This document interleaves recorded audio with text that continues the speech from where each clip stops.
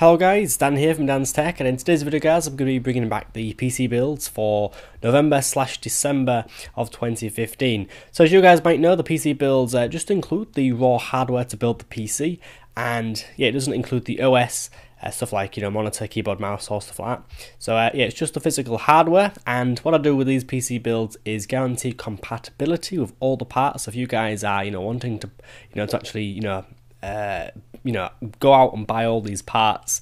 Um, yeah, I, yeah, I do guarantee that every single component will work with each other, and uh, that, if anything, gives you guys peace of mind. And uh, that's exactly what these videos are for.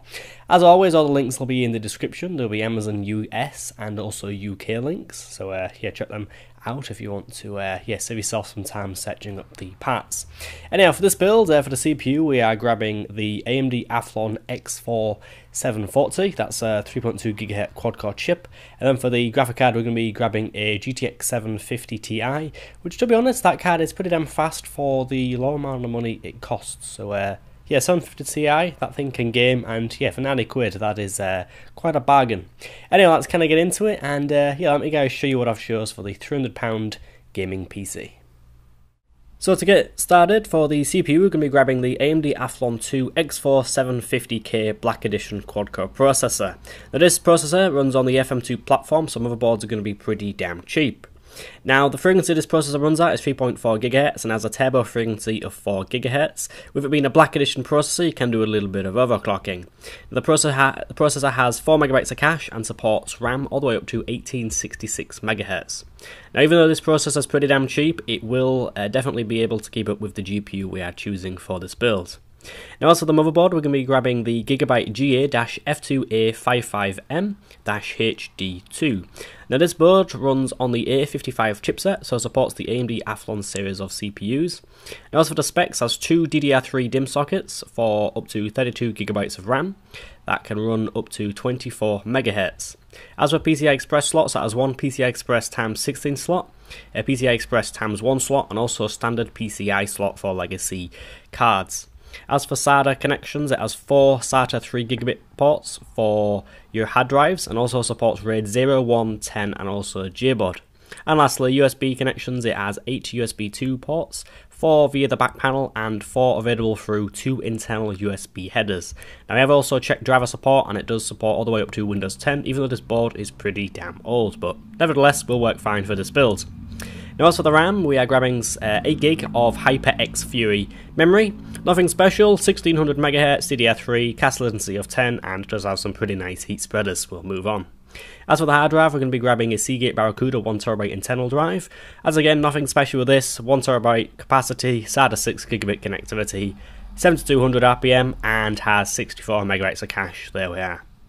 Now onto the exciting bit, the GPU. So we're going to be grabbing the EVGA GeForce GTX 750 Ti. This thing has 640 CUDA cores running at a base frequency of 1020 MHz and also will boost, if the temperatures permit, to 1085 MHz.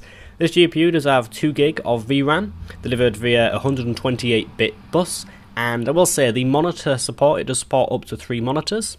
So uh, yeah, if you guys want to plug multiple monitors in, you can. And as for dimensions, is a it is uh, 17 centimeters in length and is also a dual slot card.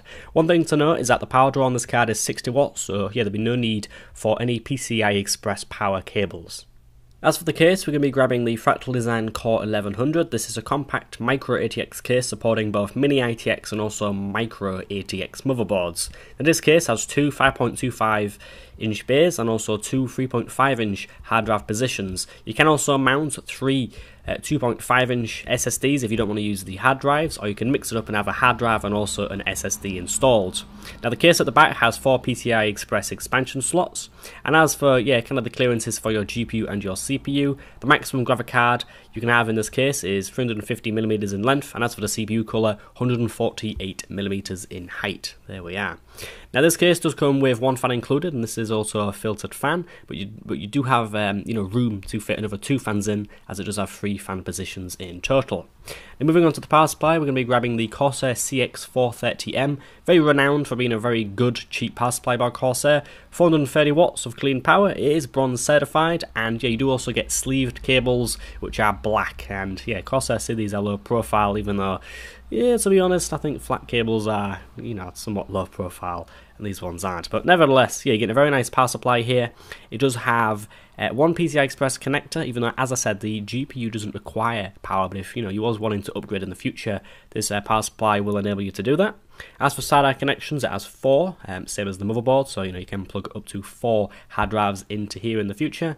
And uh, yeah, that's about it. Really comes with three year warranty and also 120 millimeter fan to keep the PSU cool. Anyhow, time to conclude. So guys, there we are, that was the £300 gaming PC for 2015, late 2015 shall we say.